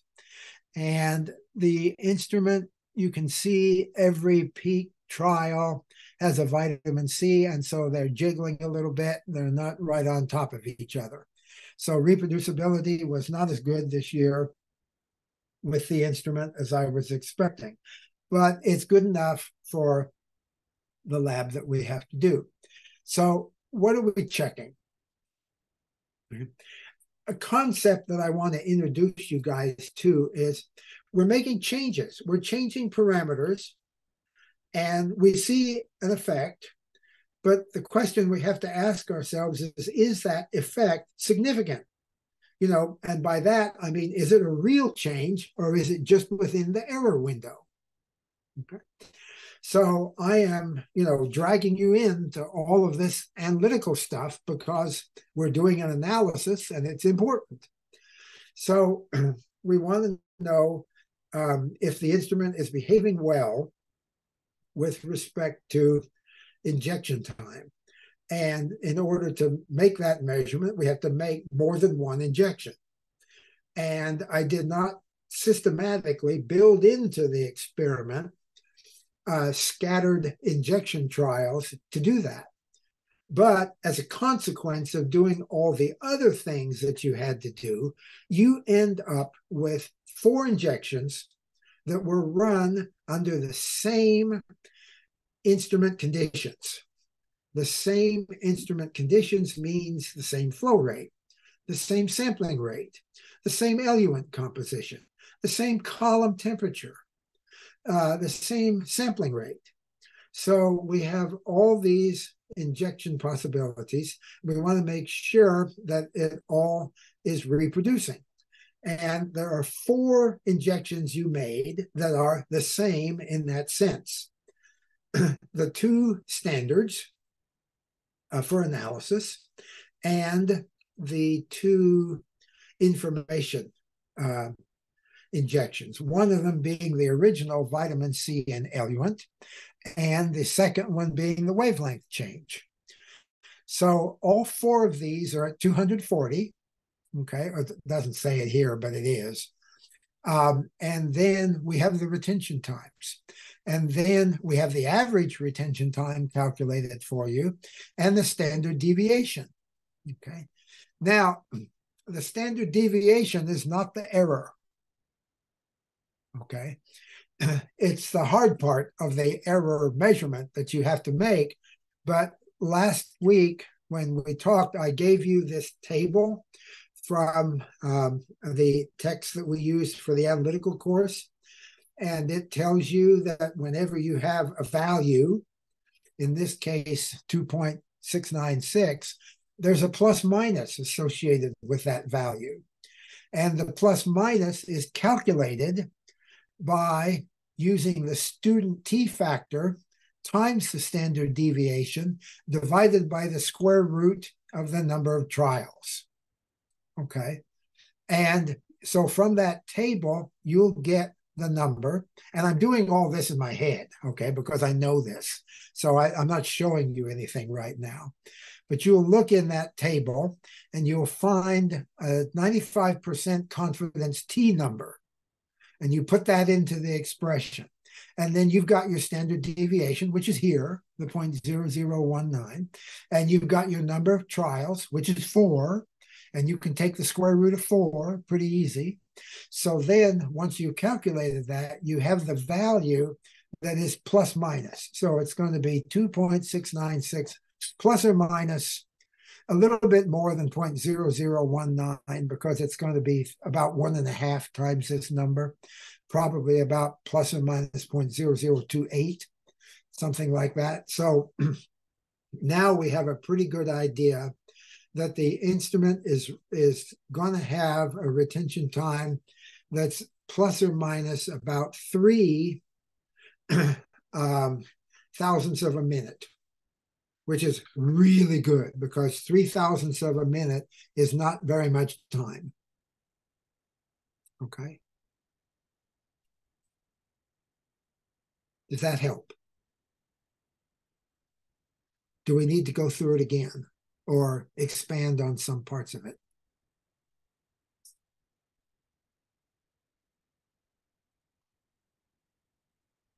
That helps. Okay.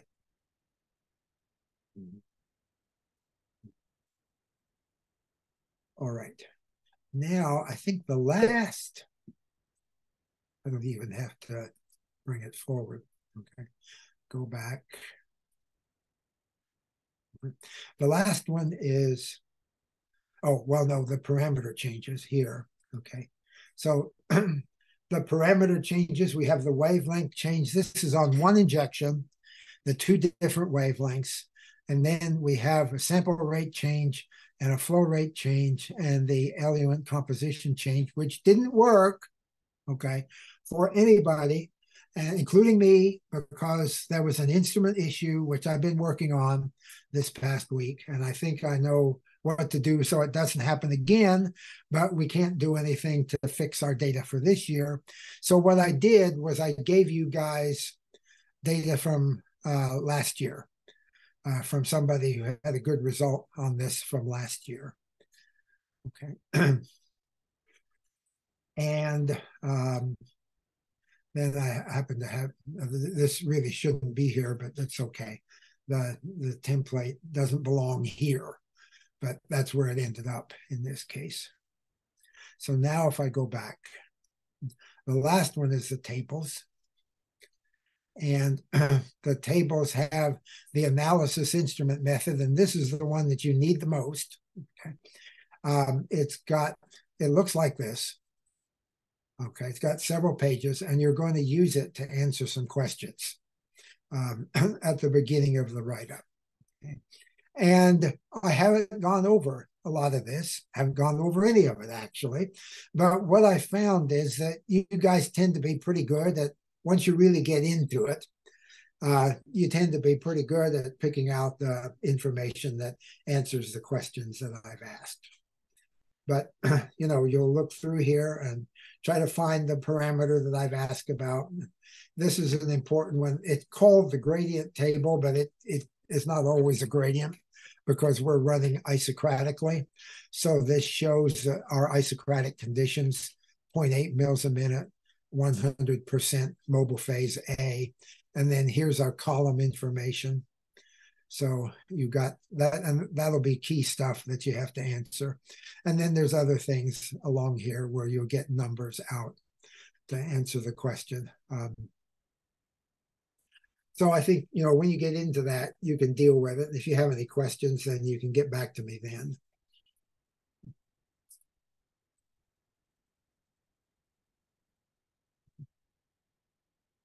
Okay, and then I want to go um, here and then the channels table and the results table. I put in my results table, um, and in this case, my channels table because it's my data. But for each of you guys, I think you do have your own channels table because your data, your actual data acquisition can be yours. There's nothing that can be screwed up there. But for the results table, I've given you mine. And these tables aren't even critical that you have them. I'm giving them to you because I think it helps you see the big picture of what you're trying to do. Or you can look at them and say, okay, I need such and so from somewhere because I see the result ID or I see this, or it just helps you see everything that came together to make this experiment work for you. So all this stuff was kind of out there. Some of it was in the real world, some of it's in the instrument. Uh, but the instrument has organized the experiment for you. All right, so now we've gone through the directory. Is there anything else that you want to ask about?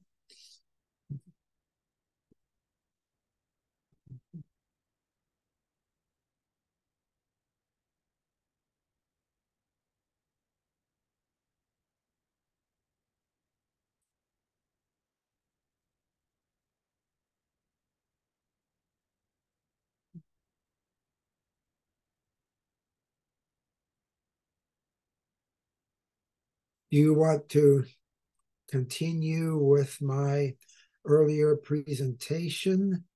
Um, do you want to quit? Do you have uh, any idea uh, as to what we should do next year?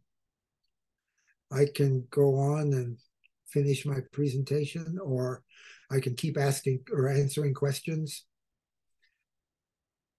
Remember, this is your time. You know, this is this is what we're trying to do to get you guys into the write up process.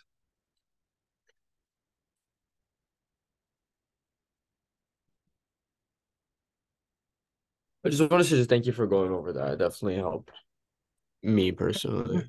Yeah, yeah, yeah. Mm-hmm. See, I was just working on the assumption I don't necessarily have the best background on on what your background is. Uh, so I was assuming that you were at least familiar with the uh, basics of a, of a standard analysis. Um, I I kind of think that's pretty fundamental. And if you're in a 4,000 level course, I would assume that you would have seen that before. In fact, I would even assume that you've been doing it in your earlier labs I mean, this year, this semester, before you even got to uh, the chromatography lab? Didn't you have to do it the LDH lab or or the other one that you were doing earlier on? Isn't there any standard information in there? I don't know those labs, so I'm not sure, but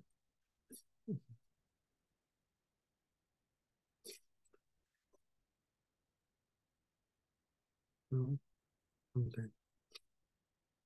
All right, is there a proposal as to what we should do next? Should I continue? Are you going to ask questions? Um, is there more specific stuff you'd like to have reviewed? I need some, I need some feedback.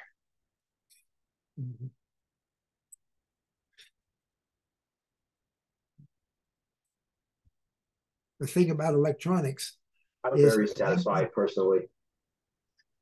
Uh, What you've gone over, I have a plan now to tackle my lab report, and I plan to do that. That's just me. If you want some sort of opinion, that's my own. that I Okay. provided to you. uh, that it's Jaheim talking. Yeah, yes, yes. I'm Okay. speaking. All right, I just turned my speaker up. You are so faint. I can't hear you very well. So would you Ah, say it. Okay. Would you I- say I Would you was saying that what I've gotten today from you, I feel Oh. confident at this point in time that I'm able to tackle my lab report. So Oh, okay. for me, I'm quite satisfied. That's just my opinion personally that I'm giving. okay? in order to All right. question. All right. Mhm. So what about the rest of you? Do you want to continue or do you want to stop?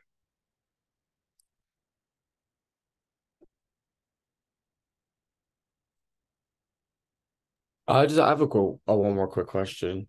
Uh-huh. Uh, do you have the lab report by chance like downloaded already? Like you can pull it up. No, I don't. Um, what, tell me what you want to know. Uh, maybe I can do it in my head. Oh, it was more like, like kind of like a, a visual thing. It'll be too Oh. much. Yeah. Okay. Well, what do you want the visual of? In, in the, And I wanted the actual report, like page 15 through 17. Those questions were based upon the vitamin C sample set three template. That was just my kind of question. And I know you're not gonna know the top of your head. okay. All right. So that's, um, that's the sample set method table. And you are, what are you asked to do there? Was, there's just a bunch of questions. I just there's like probably like 20 plus questions on it. I just wanted to make sure those questions were based upon that. Because it kind of like follows right after that. I just wanted Yeah, to, it's a big table and then you have to do matching. You have to pick out the sections uh, because I want you to think about these tables and understand what they mean. And you can you can do this because usually the the groups do pretty well on this question. This is not a hard question.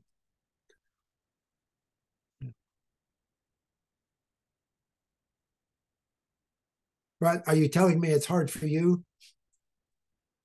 No, no, I just wanted to make sure we were, we were using that table for the matching and then for the Yes. yes. Yes, yeah. And I just left it with the earlier version because the newer version is even longer with all the automatic stuff that I've put in. And I didn't want to mess around with it too much. It doesn't it doesn't fundamentally change anything. It's the, the ideas are still the same. You're just working with an older, shorter version that doesn't have all the automatic reporting instructions in it.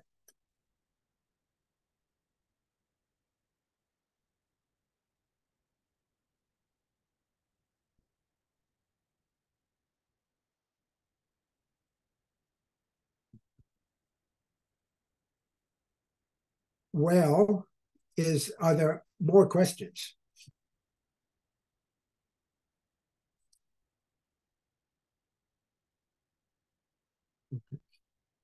Is there a consensus to quit? Is there a consensus to continue with my presentation? What would you guys like to do?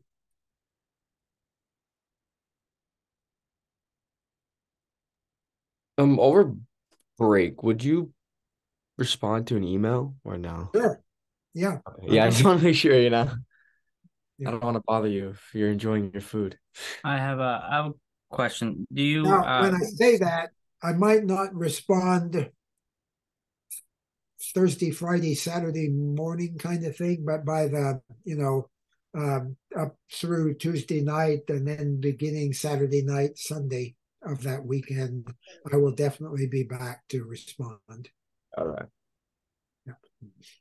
do you um think that we missed anything important on your presentation? Because I wouldn't want to move on I if was, sim- I was simply going through stuff that I thought would be helpful. I, I guess we didn't even quite finish the um, um, um, um, um, um, um, yeah, we didn't even finish everything I was talking about on this void time stuff. But you know, if you've got the basic idea, we don't have to continue. I just wanted to drag you through these things from my point of view as a as a kind of review so that you would keep seeing the instrument doing stuff but maybe slightly different stuff. So you get a little bit better feel as to how flexible it was and kind of expand your thinking on the topics a little bit. That's what I was pushing for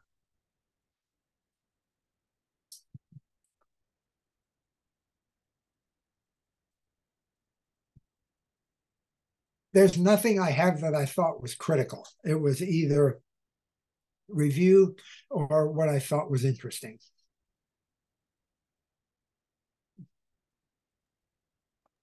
We've really reached a point where it's down to you guys thinking about it and asking questions. All right.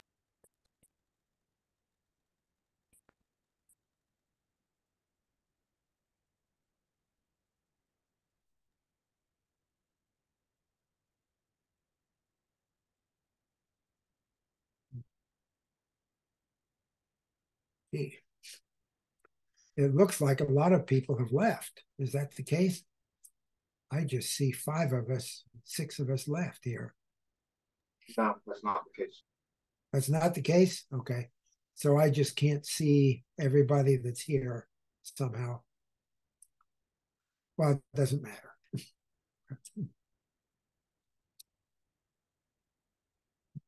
So are there more questions, guys?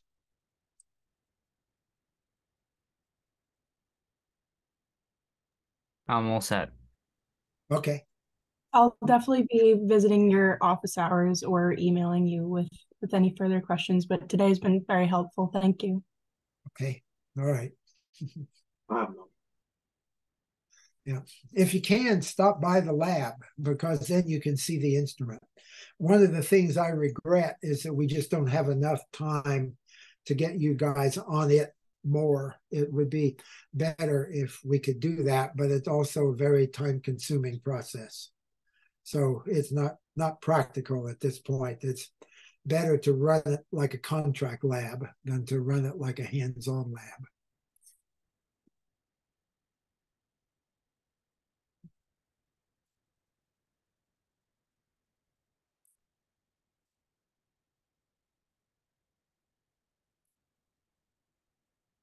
So are we closing up shop?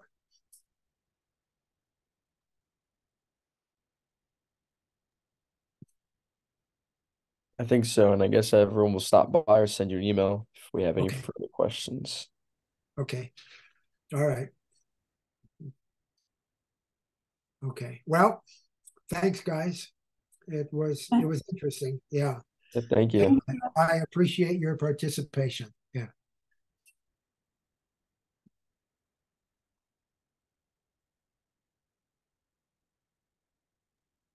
Have a good one. Thank you.